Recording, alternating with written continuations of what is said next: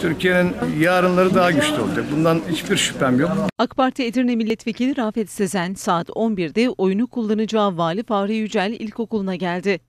Merkez İlçe Başkanı Kerem Arda'nın da eşlik ettiği Sezen, oyunu kullanacağı 1241 numaralı sandığa gitti. Burada oy kullanan vatandaşlarla birlikte sıraya giren milletvekili Sezen, sıranın kendisine gelmesiyle oyunu kullandı. Milletvekili Sezen çıkışta gazetecilere yaptığı açıklamada halk oylamasının vatan ve millet için hayırlı olmasını diledi. Oyumuzu kullandık. 20 Ocak'ta mecliste üç- 339 oyla halk oylamasına karar verilen anayasanın bugün oylamasını yapıyoruz.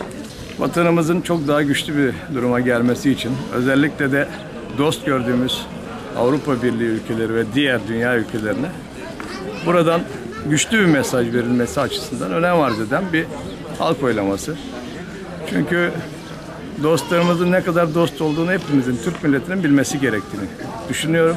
Yarınlarımız bugünden çok daha güzel olacak inşallah. Bütün derdimiz zaten çocuklarımız, torunlarımız.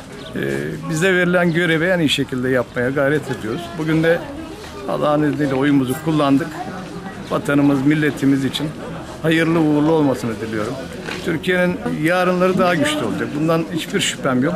Ben Edirne'mize ve tüm ülkemize, dünyaya hayırlı bir sonuç çıkacağına inanıyorum.